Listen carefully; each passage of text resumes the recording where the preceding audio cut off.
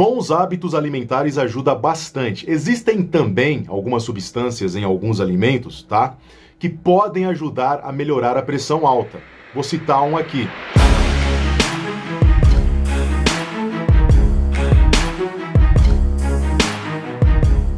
Um certo dia a pessoa começa a passar mal, dores no peito, dor de cabeça, tontura, zumbidos no ouvido, fraqueza, visão embaçada e até mesmo sangramento nasal. A pessoa percebe que não tá bem, que não tá legal, então a pessoa vai ao médico. E quando a gente vai ao médico, uma das primeiras coisas que eles fazem é medir a pressão, não é verdade? Geralmente é o enfermeiro que mede a pressão, né? Quando a pessoa passa pela triagem, então a pessoa ouve do enfermeiro ou do médico. Olha, sua pressão está 14 por 9. 14 por 9, gente, é pressão alta. A pressão alta não é brincadeira, gente. A pressão alta é um dos principais fatores de risco para o desenvolvimento de outras doenças como cardiovasculares, renais, além de ser uma das principais causas de infarto e AVC. Você sabia que a hipertensão ou pressão alta, como é popularmente conhecida, atinge mais de 38 milhões de pessoas só no Brasil? Muito provavelmente alguém que esteja vendo esse vídeo, infelizmente, sofre com pressão alta.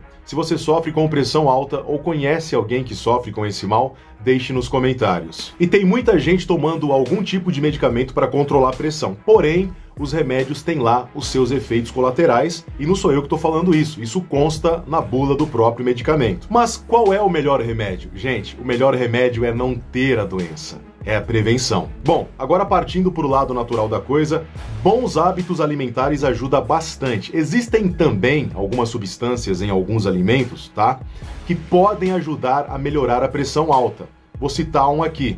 Por exemplo, a arginina. Vou deixar para o Pedro falar para vocês sobre a arginina. Pedro, o que é a arginina e o que ela pode fazer para melhorar a pressão alta? A arginina é considerado um aminoácido. O que é um aminoácido? A base primária de uma proteína. Mas a arginina ela é algo muito interessante porque além de ser um aminoácido, considerado um aminoácido, ela faz um papel muito importante no nosso corpo, que é fazer com que você aumente os seus níveis de óxido nítrico. É, a arginina está ligada à produção de óxido nítrico no corpo. E o óxido nítrico, meu amigo, ele é muito importante para o seu sistema circulatório, para o seu sistema sanguíneo. Muito importante. Ele faz com que você possa fazer os vasos sanguíneos se dilatarem.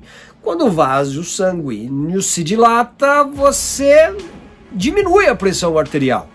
Se você diminuir a constrição de um vaso sanguíneo, que é a mesma coisa que está apertando aqui, ele não libera a elasticidade, aí você melhora a pressão. Quando você libera a elasticidade do vaso sanguíneo, né, tira essa compressão, a pressão vai cair automaticamente. Então a arginina ela é muito interessante para esse fim. Obrigado, Pedro. Agora, quais alimentos possui a arginina? O amendoim. O amendoim, por exemplo, é um alimento rico em arginina. Outros alimentos também são as sementes: semente de linhaça, semente de chia, sementes de abóbora. São alguns alimentos que possuem essa substância, sendo que o amendoim é o mais popular, o mais fácil de ser encontrado. Gostou?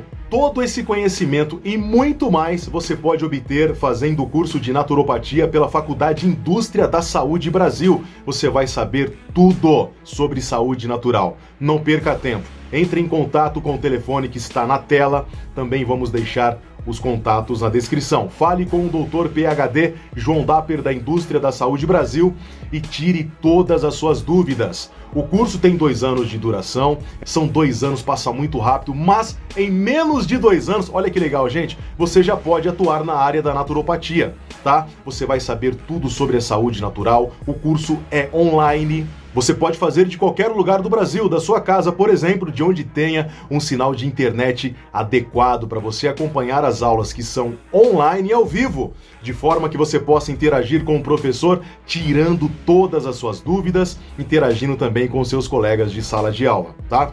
Já pensou, gente, se formar em naturopatia para você poder cuidar da sua saúde, da saúde dos seus e quem sabe também montar o seu consultório, sim, talvez a sua clínica para você poder atender os seus clientes, pacientes, trabalhar com a saúde natural, viver disso.